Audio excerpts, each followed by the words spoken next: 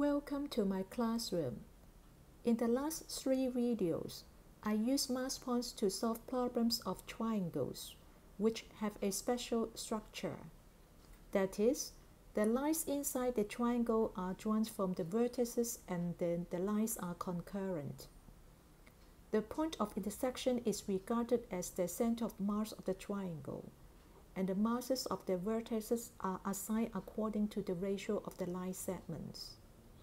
In this video, I use mass points to handle triangles with another structure and it involves further techniques.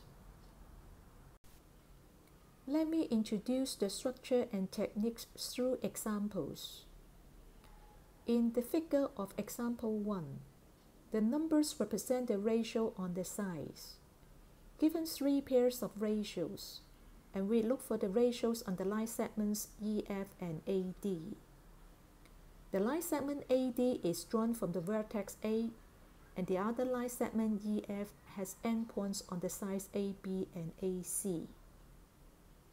Before using mass point, it is good for you to pause the video and work out the solution with the method you learned from school so that you have a comparison of the solution and answer obtained by mass point later. Let me demonstrate the solution by ratio of areas first. In order to make use of the given ratios, join GB and GC. Let the area of triangle AGF be A. By the given ratio 1 to 2, area of BGF is 2A. Similarly, let the area of BGD be 3b. Then area of CGD is 4b. Let area of AGE be 3c. Then the area of CGE is 2c. Due to the same base, ratio of area equals ratio of height. We have area of AGB to area of AGC equals to 3 to 4. That is, 3a to 5c is 3 to 4. Thus, a to c is 5 to 4. As the ratio of FG to GE is same as the ratio of the area of triangles AGF and AGE, we have FG to GE is 8 to 3C. Substitute the ratio of A to C and get 5 to 12, the answer of the first ratio. To find the other ratio, join FC. Let the area of triangle CGF be D. From the diagram, we see that area of triangle ACF equals a plus 5C plus D. Area of BCF is 2A plus 7B minus D. As the ratio of these triangles is 1 to 2, substitute and have simplify, we get equation 1. As area of CGF to area of CGE equals to FG to GE, which is 5 to 12, the answer obtained earlier. So we have D to 2C equals to 5 to 12. That is, D equals to 5C over 6. Substitute this into equation 1. We have C equals to 14B over 25. Now, AG to GD equals area of AGC to area of DGC, that is 5C to 4B. Substitute the result, we have 7 to 10, the answer of the second ratio. Now, let me solve the problem again by mass point. The configuration of this triangle is different from the triangles in my previous videos on mass point. That the line segment AD passes through the vertex, but EF does not. To use the technique of mass point, first identify the center of mass. For this triangle, G is the point inside the triangle and it is the point of intersection of AD and EF. We got G as the center of mass of the triangle. When we calculate the mass of G from the line segment AD, it is the sum of the mass of A and the mass of D, where the mass of D is the sum of the masses of B and C. However, when we calculate the mass of G from the line segment EF, the mass of E comes from the sum of masses of A and C, and the mass of F comes from the sum of masses of A and B. Here, the mass of A is counted in both calculations. But the mass of A is not supposed to be double counting for the total mass of G. The mass of A needs to be split.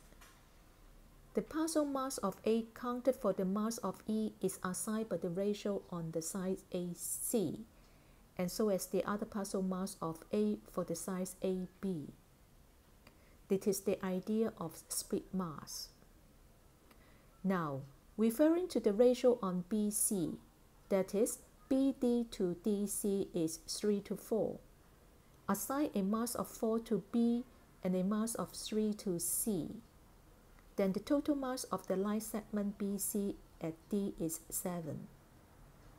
To split the mass at A, since AF to FB is 1 to 2, and the mass of B is 4, so the partial mass of A on this side is 8. Similarly, AE to EC is 3 to 2, and the mass of C is 3. So the partial mass of A on this side is 2. Add up the split masses. The full mass of A is 10. Let me have a quick check for the total mass at G. From the line segment AD, the mass of G comes from the full mass of A 10 and the mass of D 7. That is, the mass of G is 17. From the line segment EF, first calculate the mass of F, which comes from the partial mass of A 8 and the mass of B 4. That is, the mass of F is 12. Similarly, the mass of E comes from the partial mass of A 2 and the mass of C 3. That is, the mass of E is 5. So the mass of G calculated on the line segment EF is 12 plus 5, 17, same as the one obtained by the line segment AD. Now, back to the question. We get the ratio of the line segments immediately by the masses calculated. Fg to Ge is given by the mass of E to the mass of F, that is 5 to 12.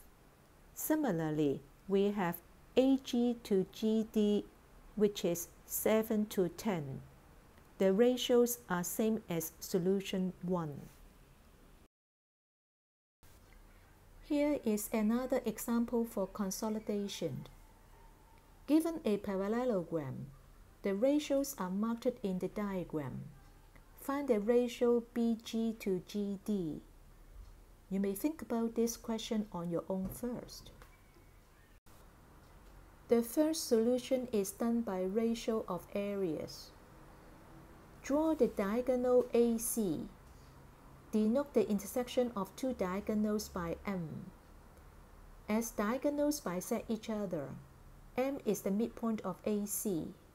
That is, the ratio of AM to MC is 1 to 1. If you look at the structure carefully, you can see that the configuration of triangle ABC is same as the configuration of example 1. I leave the calculation of using ratio of areas for you as an exercise. You may pause the video for the exercise. According to our discussion in example 1, regard G as the center of mass of triangle ABC, and the mass at the vertex B needs to be split. As AE to EB is 1 to 2, if the mass of B is 1, then the mass of A is 2, or the mass of A is a multiple of 2. For BF to FC equals 3 to 4, if the mass of B is 4, then the mass of C is 3. That is, the mass of C is a multiple of 3. Since AM to MC is 1 to 1, the mass of A is equal to the mass of C. Take the LCM of 2 and 3, that is 6. Assign a mass of 6 to both A and C.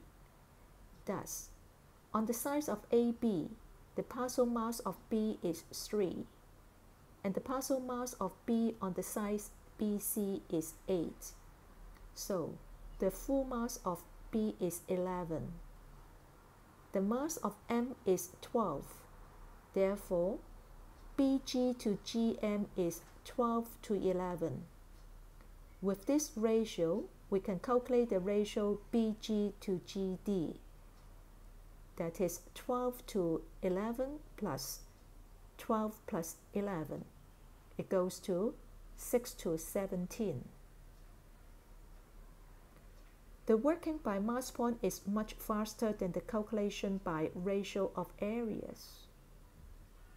Yet, if you can make use of suitable construction, the solution can also be obtained quickly without mass point.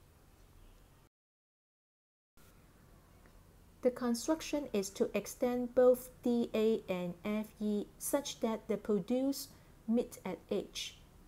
There are two pairs of similar triangles formed by this construction. First, consider similar triangles EAH and EBF. Then we have AH to BF equals to AE to BE. That is, AH to 3 equals 1 to 2. So AH is 3 over 2. Consider another pair of similar triangles, BGF and DGH.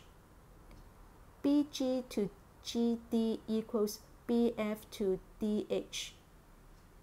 It equals to 3 to 3 over 2 plus 3 plus 4. It goes to 6 to 17. The answer we obtained earlier. The solution is short and simple but you need to have a good insight for the construction. So far, we have explored the use of mass point on two kinds of configuration. The first configuration was discussed in the 14th video, mass point basic techniques. The center of mass of a triangle is located at the intersection of two line segments, both drawn from the vertices of triangle. The second configuration is the one discussed in this video. The center of mass is the intersection of a line segment drawn from a vertex and the other line segment has two endpoints on the sides. In this case, we need to split the mass at the vertex.